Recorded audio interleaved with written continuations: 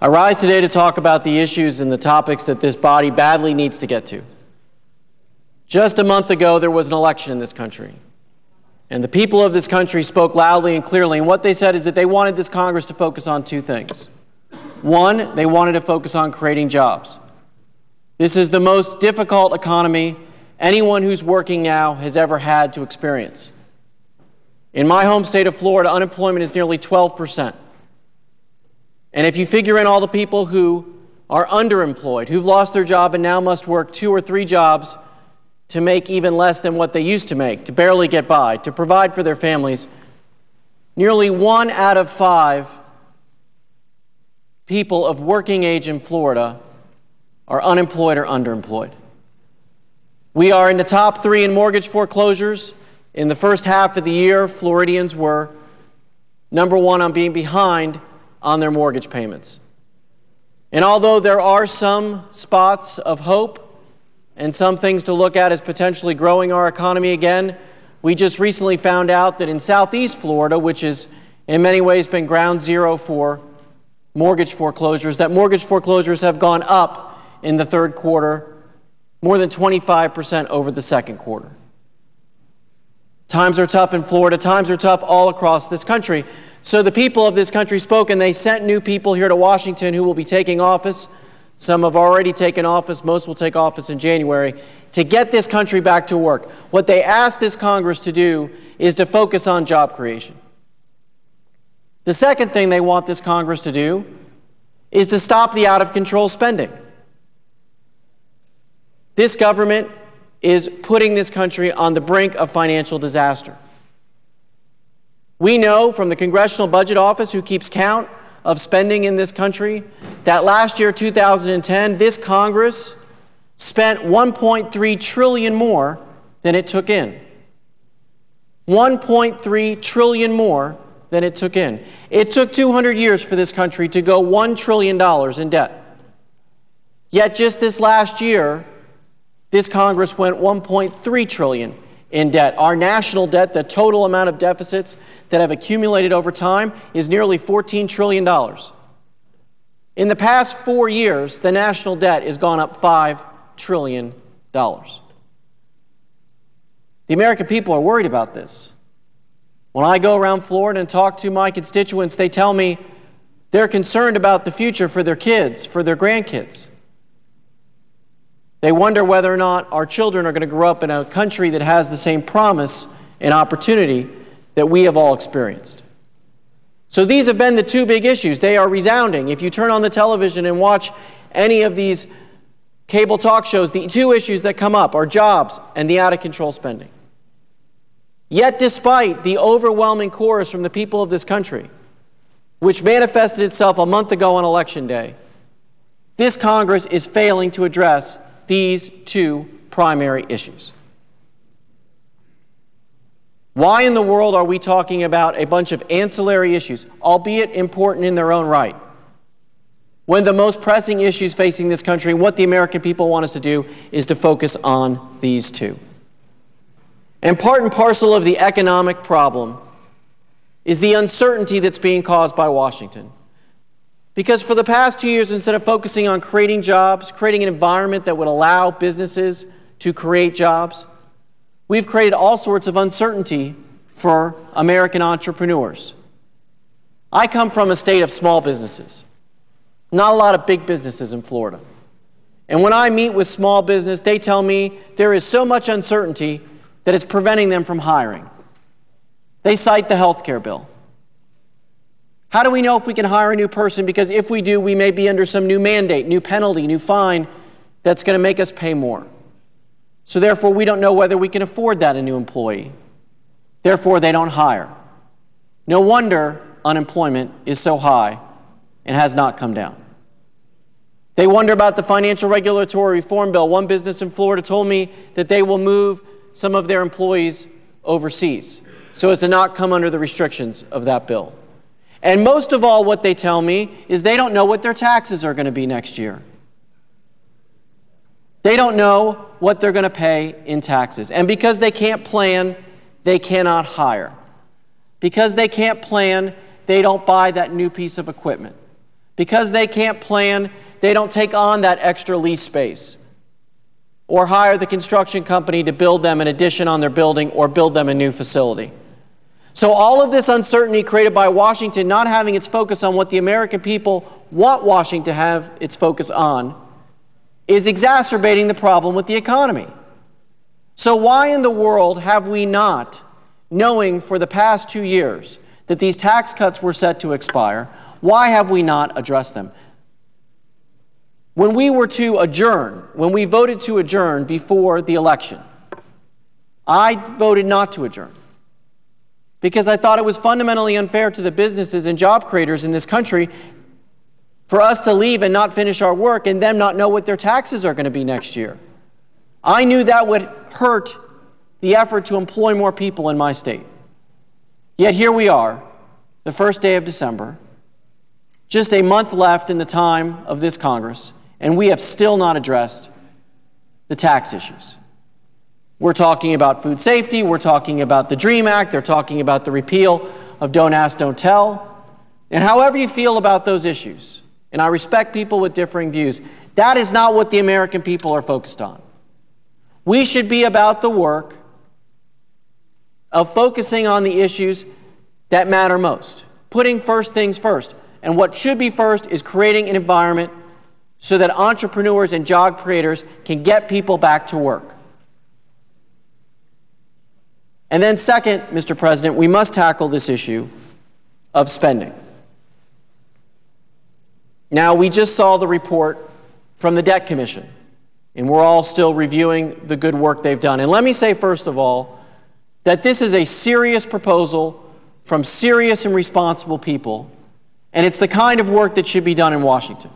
Now, I don't agree with all of its provisions, but I am proud of the work that they have done because it is serious, it is sober, and it addresses the compelling crisis that is, confronts us and threatens the very future of this country. And as the co chairman of that commission, Erskine Bowles and former Senator Simpson have said, this crisis will not wait 10, 20 years. This crisis is now. But as much as I respect the work they've done, it doesn't go near far enough realize that the proposals that they have done will cut the national de- debt and deficit $4 trillion. It's a lot of money. It's a good start. It is being widely condemned by Democrats and Republicans. It tackles defense spending, so some Republicans don't like it. It tackles Medicare and Medicaid and Social Security, so some Democrats don't like it. I think Speaker of the House Nancy Pelosi kind of dismissed it out of hand because of what it does on Social Security. But realize this it only cuts $4 trillion out of the next $12 trillion that will be incurred in the next decade. So let's put it into perspective. Right now, our national debt is nearly $14 trillion. It is projected to be $26 trillion by 2020. If we adopted every proposal of the Debt Commission, Every single one of them. We would reduce the projected national debt from 26 to 22. And that's not enough. It's not even close to being enough. Now, why is that the case? It's the case because we spend $200 billion a year right now in our current budgetary environment on debt service. $200 billion a year paying interest on money we borrowed for things we shouldn't have spent money on in the past. Here's the truth that the American people have not been told. For the past 30 or 40 years, this government has spent much more money than it's taken in. Now, what it did first was it took the money out of Social Security and wrote an IOU to Social Security. When the Social Security money was unable to be rated anymore by Congress, which has been just really recently, then Congress had to go out, this government had to go out and borrow the money from foreign countries like China and Japan. So that's why we have this huge unfunded portion of Social Security that's tens of trillions of dollars. And that is why we have this national debt that's racking up, because For the last 30 or 40 years, this Congress has spent way more than it's taken in. And now we're in a situation where we've put the future of this country in peril. Because at the end of this decade, if we have a $26 trillion national debt, and even if it's 22 trillion, if we adopted every measure from the debt commission, we will still be 8 to 900 billion dollars in debt service payments by the end of the decade. 8 to 900 billion dollars. And when we are that far into our debt service payments, basically for the average American family this is like thinking of this like a credit card. When you can't pay the minimum balance, and every month, the amount that you owe keeps cascading more and more. That's where the American government is headed. And when we get to 800 or 900 billion dollars in interest payments a year, the government will not function. And as Erskine Bowles said today, the world markets will not wait for that point. So, what you're seeing in, in Europe right now with Greece, and Ireland and Portugal and Spain will happen here. Except there will not be a European Union or anybody else to bail out the United States of America. It is a crisis. Yet this Congress isn't doing anything about it. We are talking about adopting a continuing resolution because this Congress won't do an appropriations bill. A continuing resolution at its best, which will freeze spending at last year's level. Now, some of my colleagues will say, well, that's good. See, we're not increasing the spending. It's not an accomplishment when last year we were more than a trillion dollars in deficit to freeze spending at that level. The two issues that the American people want us to deal with are jobs and out of control government spending. Yet, Mr. President, we are failing to do both. There is a lot of frustration in this chamber. I watched some of my colleagues on the other side today come speak on the floor, and they are frustrated that we are not getting things done. I am frustrated too. Two of my colleagues are proposing a change to the way the procedures of this body works. They don't think it should take 60 votes for us to do some things. I don't agree with them, but I share their frustration. Because as, as much as I am privileged to be here, and I am in awe of this institution, the way this Congress works and this body's works is dysfunctional. The way it should work and the way it used to work, from what people tell me who were here before, is that a proposal would come up a piece of legislation. And it would come to the floor, and we would all have a chance to offer an amendment.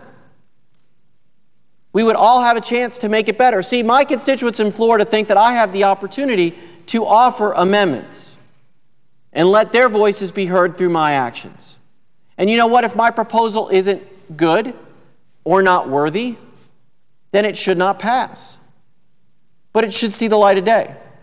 And there was a time when senators stayed by their desks and listened to the proposals and amendments of other senators and were quick to be able to call home to the group that the proposal might affect. Say it was an agricultural proposal, they might call their local farmers. Or something that affected banks, they may call their local banks to see how it would affect their constituents in their home state. And the level of discourse was better. The people of this country expect us to get to work. And they expect us to get to work on the issues that matter most. They're suffering. And we should get about the work that they want us to do because the future of the country is at stake. And with that, Mr. President, I yield the floor.